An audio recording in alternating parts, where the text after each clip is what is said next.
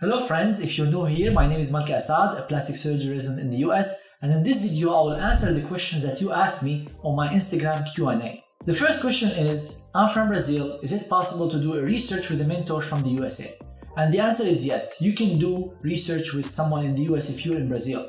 However, you're very limited in the number of uh, research projects you can work on. Because if you're in a different country than the US, it's hard to send you actual patient information because of HIPAA and that might have ramifications on the hospital. So that's why most people who do online uh, mentoring for research, they participate in case reports or in uh, literature reviews or systematic reviews that do not require actual patient information because again of the limitation of sharing the information with someone outside the institution. In my opinion, these opportunities are really helpful because they can help establish your connections with people in the US, help you improve your English, improve your research skills, but it's always best to do it in the US because you would have more opportunities to work on. Now going to the next question. By the way, if you're wondering about the color of my iPhone, it's yellow. This is my favorite color for the phone. Uh, just want to say hello. I'm at Hopkins for my research fellowship. Gonna meet Dr. Anim. Uh, that's awesome. Dr. Anim is a general surgery resident at Hopkins, and we did a YouTube video with her on how to get surgical residency in the US. So go ahead and check out that video on my YouTube channel. The third question is how to find good research positions in the US. And the answer to this question is very long. That's why I made a whole tutorial that is over three hours to discuss that. So go ahead and check out that tutorial on how to find research positions in the US, how to identify the best mentors, the best institutions, and I'll leave the link for that in the cards above and in the description below.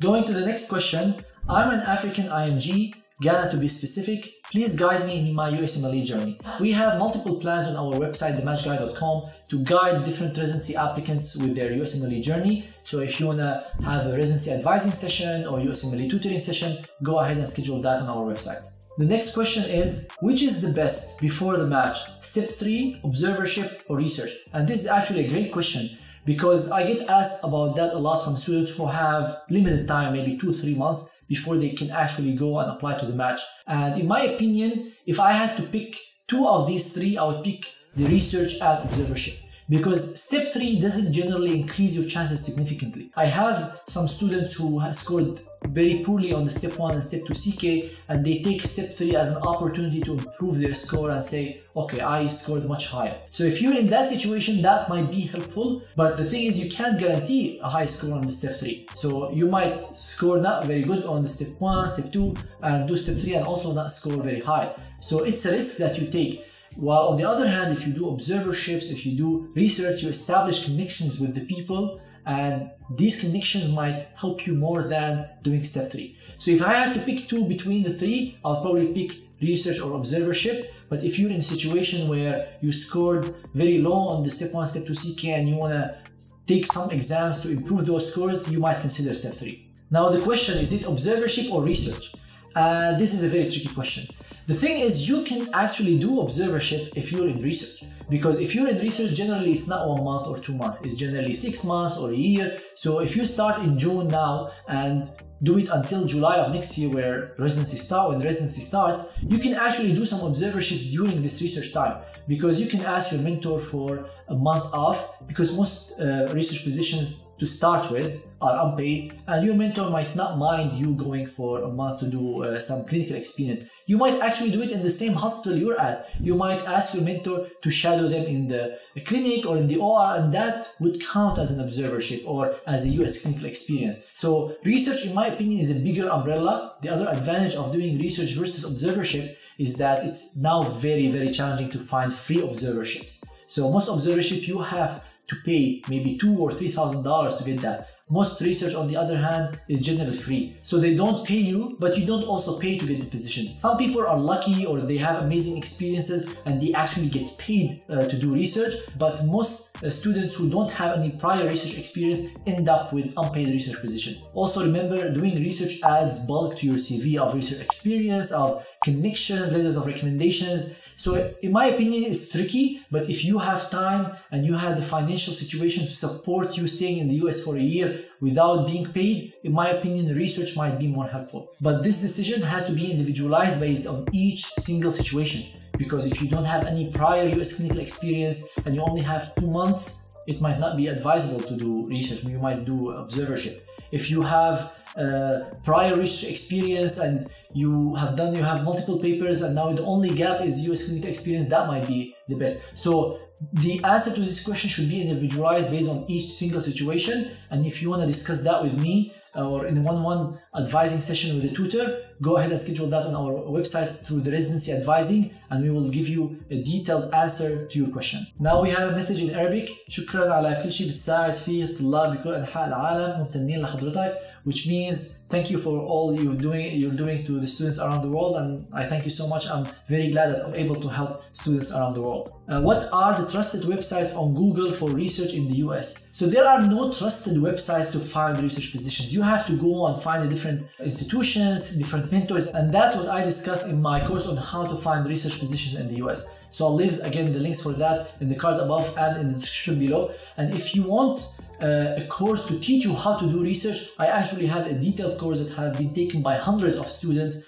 and they've been extremely satisfied with it. And all our courses, by the way, this one and the one how to find research positions are all 100% refundable if you're not satisfied. So if you didn't like the course, we'll give you your money back, no questions asked. So if I read first aid only, can I pass step one? And the, this is a tricky question because I don't know your prior medical knowledge. If you're someone who is really good to start with and have studied extremely well in their school prior to reading first aid, you might be able to pass. But if you're just reading first aid on its own, it might not be enough. What most students don't know about first aid is that it's a review book. So it doesn't cover the information in detail. It's more like these are the most important things. So you have to have understood these concepts from before.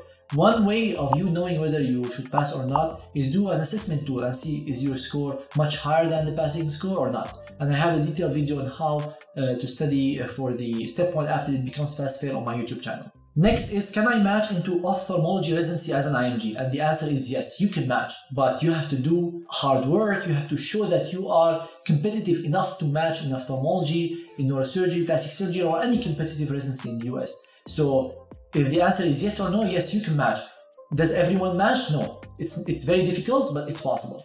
Will the spots for elective still be open in August? In my opinion, this is very unlikely. Now we are in June at the time of recording this video that spots will be open in August only two months apart because usually the spots for electives are filled months ahead. So if you're considering doing electives, make sure to apply months ahead and look at the application deadline because every institution has a different deadline and most of them have at least three months. There is a question I didn't understand fully. Can first year medical students from India join the course? Uh, they just took the admission before one month. Uh, I'm not sure if you're referring to one of my courses or you're referring to something else. If you're talking about our courses, all our courses you can sign up and take them at any time. So you don't have to have much prior knowledge about the topic to be able to sign or understand the course. And as I said, all the courses are 100% refundable. So if you sign up and you don't like it, we'll give you your money back. And if you were asking whether you can buy it now and activate it later, yes. So you can buy the course now and activate it after two or three months if this is what you're asking for.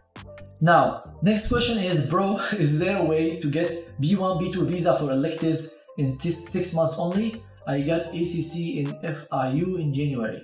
So again, I'm not sure what these abbreviations stand for, but if you're asking whether you can get the B1, B2 visa to get an elective in a six month period, it depends on your country and how much is the wait time for your country. I know that some countries have a very long wait time now to apply for the visa. Uh, other countries don't have that long time. So it depends on the country if you're asking whether you can get the visa within six months period. But if you're asking whether your visa could be uh, for six months, generally the US visas are long, like in years. It depends on the country. You can check on the I think the USCIS website how long does the individuals from your country get the visa for but you get admission generally for six months. So you can do electives on a B1 B2 for six months.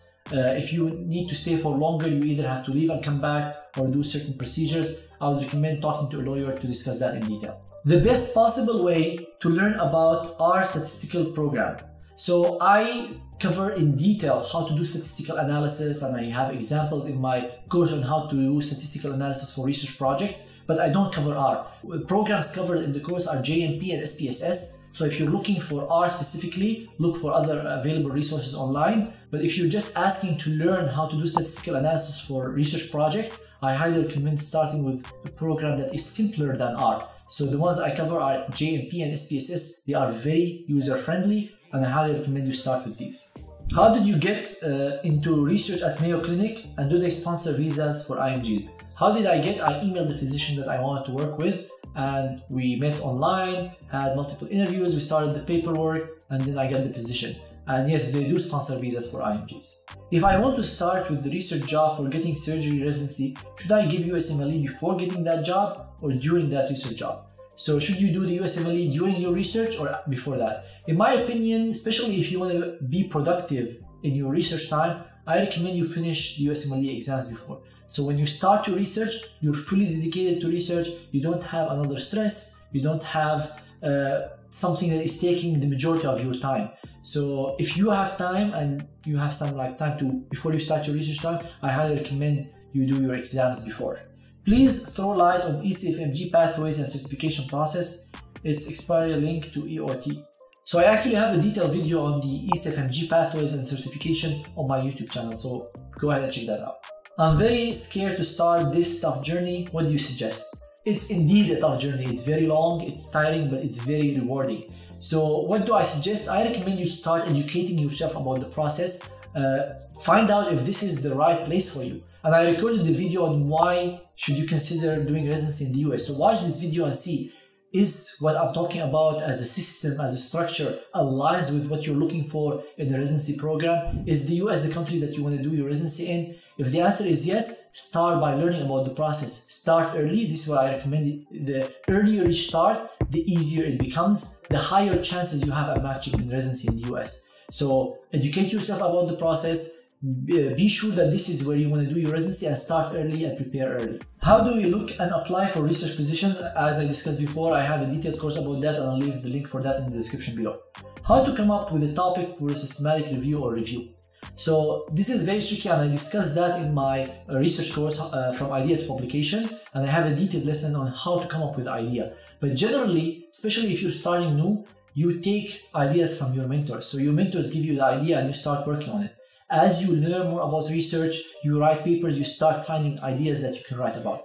So generally to start with for beginners, it's their mentor's idea and as they read and learn more about the topic, it becomes their ideas. Difference between a research fellow versus assistant versus associate, which to apply with less uh, experience. So I discussed that in my course on how to find research positions, the differences between these. But to answer your question simply, there is not much difference. The difference is more in the title, which might reflect in the salary. So the tasks totally depend on your mentor. But if you want a more detailed discussion of that, go ahead and like, check out our course on how to find research positions in the US. Chances of matching into surgical specialties with low scores. Definitely having low scores decreases somebody's chances of matching. There is a curve uh, that you can look at on the NRMP data and the higher score, the higher chances of matching. Why? Because different programs use the USMLE scores as a screening tool. So if you have higher scores, you're more likely to pass these screening tools. Does that mean that if you don't score high, you're not gonna match? No. You have less chance, but you still can match. I've seen numerous instances of people matching with low scores, but you have to work on other parts of your CV. Maybe your research, your communication skills, your clinical skills, and you have to show it to someone in the US. You might have all these from another country, but you have to convince people in the US that you are fit for a residency spot in surgery. Did you do research while you were in med school in your country? No, I did not do much research when I was in my country. When I started my research time at the Mayo Clinic, I only had one case report that I wrote while I was doing a rot rotation in the US. So not having research experience before doesn't mean you can't start research, doesn't mean you can be great at doing research. Is it important in what journal your paper gets published? And is a retrospective study considered valid? Yes, definitely a retrospective study is considered valid. Most studies in the literature are retrospective studies. So the more advanced you become, you start doing prospective studies and randomized clinical trials. But if you're just starting, retrospective studies are great study designs. Case reports are not as important, but they still, if you're starting, it's not bad to start with a case report. But as you advance, you should start going towards more case series, larger case series, maybe national databases, systematic reviews, retrospective studies, and the next step would be prospective studies and randomized clinical trials. And to answer the first part, is it important what journal your paper gets published in? Yes, it's definitely important because people reading your CV they would look at what journal the paper got published in. And if it's a journal they recognize, highly respected within the field, they will give more attention to your CV. Does that mean that all program directors do that? No. Some program directors just look at numbers. Some people look in the details of the paper. So it varies a lot, but definitely having a better journal to in which you publish the paper gives you uh, more advantage. Hardest USMLE exam in your opinion? In my opinion, studying for step one was harder than studying for step two, but the exam of step two was harder. So during the exam, I felt more stressed uh, in the step 2 CK compared to step 1. Because step 1, if you know the information, you answer the question.